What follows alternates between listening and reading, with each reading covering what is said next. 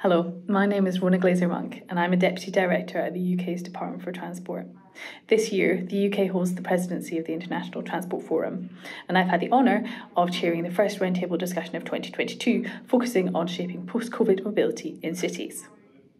Members of the ITF identified this topic as their highest priority discussion for this year, and they have been asking how can policymakers learn from the pandemic to make the best possible decisions during this crucial period, and how can we make transport more sustainable and more inclusive than what we had before.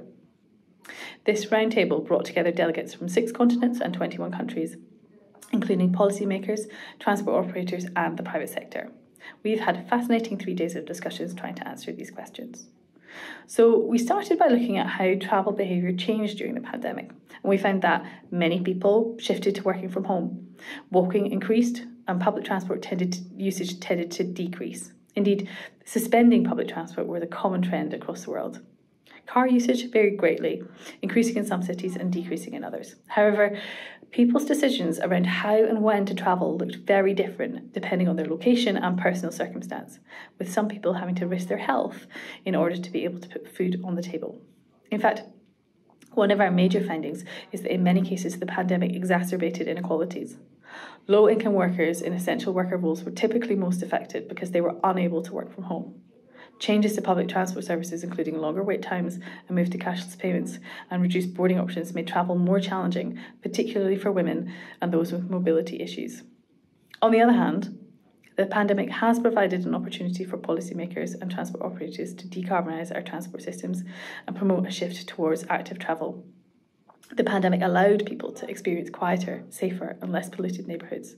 And many cities accompanied the suspension of public transport with measures aimed at promoting active modes of transport. In particular, some cities took the opportunity to accelerate plans to reallocate road space for walking and cycling.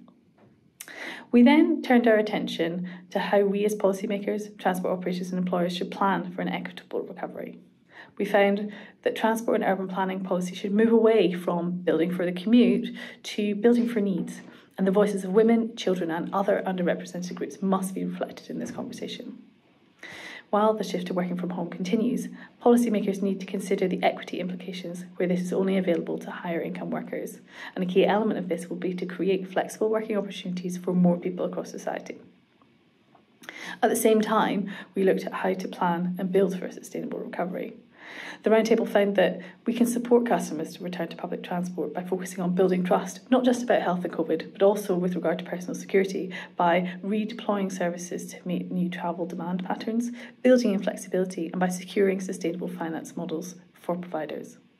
To cement the uptake of active travel, the discussion focused on measures to make walking and cycling viable and safe in a variety of climates and for all people.